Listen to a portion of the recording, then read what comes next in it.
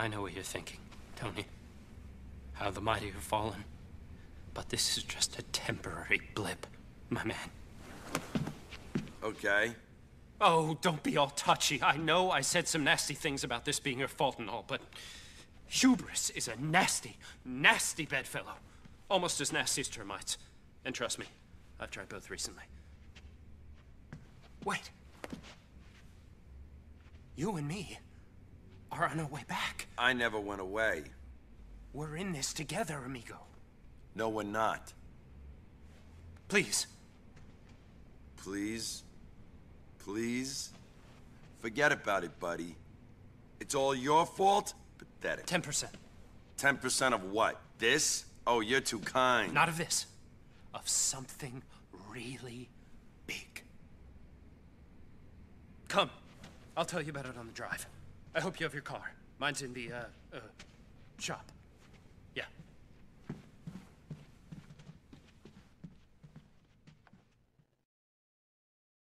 Uh, Tony, transfer would be a boon. Head for the airport, Tony. We don't have a minute to lose.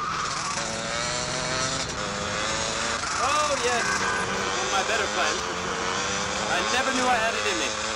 Even Avery would be proud.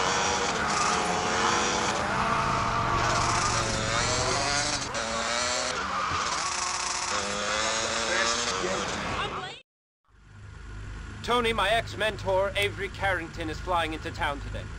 It's come to my attention that he's working for the Panlantic Corporation. They'll do anything to get prime real estate.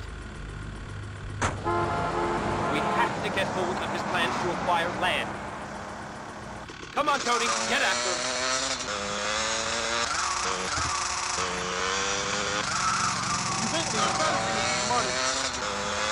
Hmm.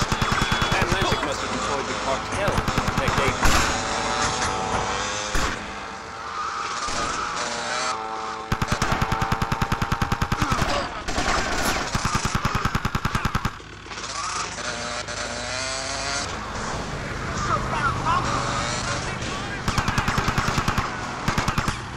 There he is! Kill him, Tony. I gotta get I need the blood. Oh, capital Tony!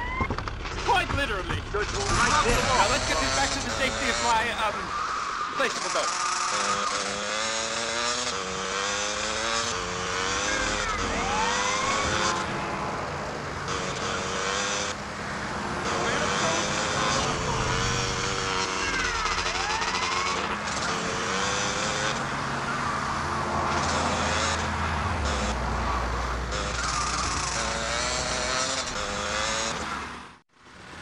This is gonna make me a fortune. Yes, sir, a fortune.